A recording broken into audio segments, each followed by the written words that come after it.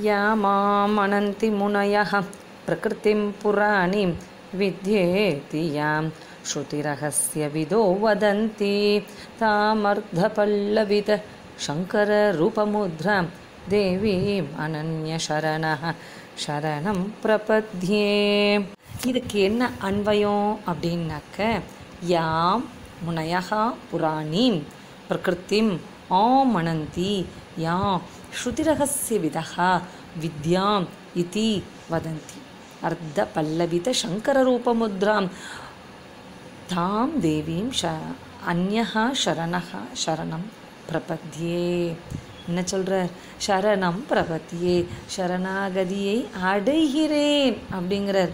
யாரை சரணாகதி அடைகிறாராம்?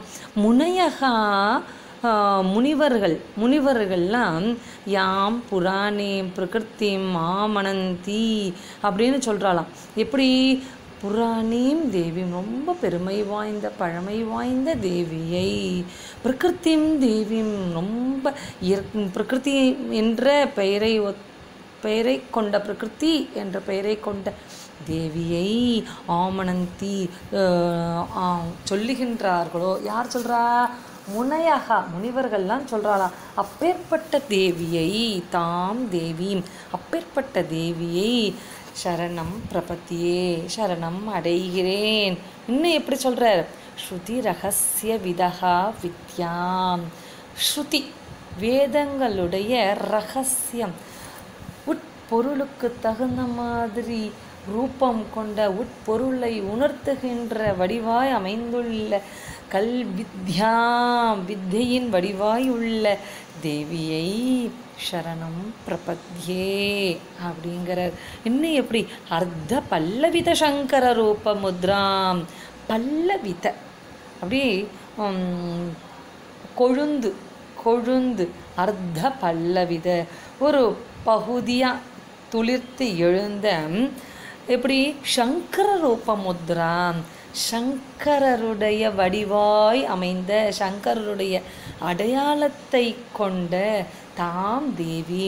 அந்த தேவியை சரணம் பிரபத்தியே சரணாகதி அடைகிறேன். இதே தான் சௌந்தரலகரியில் நிறைய ஸ்லோகத்தை ஆதிசங்கரர் சொல்லின்னு வந்துட்டுருக்கேன் அதே அர்த்தத்தை தான் நம்ம இங்கே படிக்கும்போது நம்மளும் அர்த்தம் புரிஞ்சுக்கிறோம். இதை எப்படி சொல்லலாம்? அப்படின்னாக்க முனிவர்கள் எந்த ரொம்ப புராதனமான பிரகிருதியான அன்னையை வழிபடுகிறார்களோ அப்பேற்பட்ட அன்னையை வேற சரணாகதி அடைய தெரியாத நான் அந்த அன்னையை சரணம் அடைகிறேன்.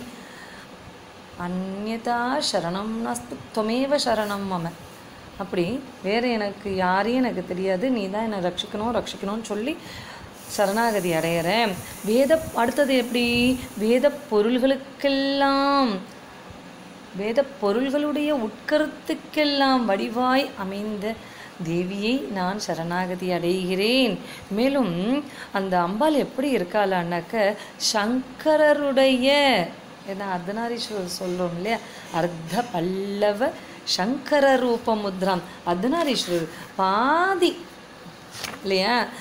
அந்த சங்கரருடைய ரூபமாய் அமைந்துள்ள அவயவங்களோடு ரூபம்னா என்ன? அந்த சங்கரருடைய ரூபமாய் அமைந்துள்ள ஓ சிறப்பு வாய்ந்த அப்பேற்பட்ட அன்னையை நான் சரணாகதி அடைகிறேன். அப்படிங்கிற தன்யவாதகம் யா மாம் அனந்தி முனையகம்